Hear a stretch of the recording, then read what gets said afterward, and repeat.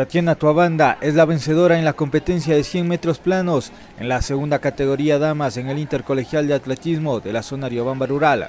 La ganadora de la presea dorada manifestó su satisfacción por el logro a su institución, la unidad educativa Purua. Me siento orgullosa por hacer quedar bien a mi colegio, primeramente.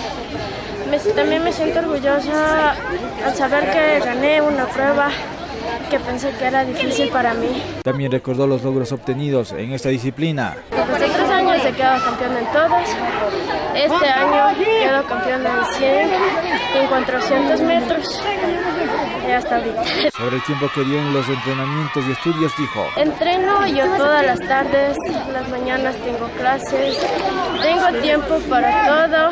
El logro tiene dedicatoria. Me dedico totalmente a mi familia y a mi tutor que él me ayudó, él me entrenó y ahora estoy aquí. En la competencia le siguió en el segundo puesto Grace Yakaya, deportista del ente educativo 24 de mayo. Bueno, yo me sentí un poco feliz y pues al principio me sentía nerviosa. Al final habló de la satisfacción de su segundo lugar y las congratulaciones que le dieron sus compañeros. Bueno, yo me siento feliz y mis compañeros también me felicitaron. Para Acción Deportiva, Joaquín Quino y Aulema.